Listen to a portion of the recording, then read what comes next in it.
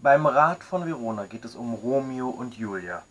Jetzt bekommt jeder Spieler erstmal eine Karte. Anschließend der nächste Spieler darf sich eine Karte davon aussuchen, die er gerne hätte, und gibt den Kartenstapel weiter. Dieser sucht sich auch eine Karte aus und so weiter und so weiter, bis jeder von den vier Spielern drei Karten auf der Hand hat.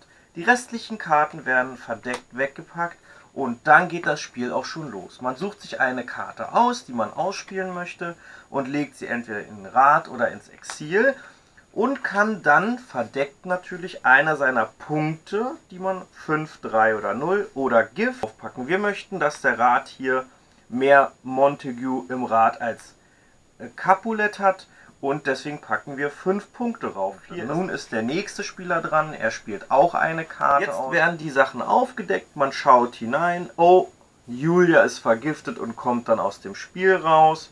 Und hier sieht man Gegengift und 5 Punkte. Wenn hier nun mehr sind, das sind 3 und das rot, bekommt dann 5 Siegpunkte. Somit endet das Spiel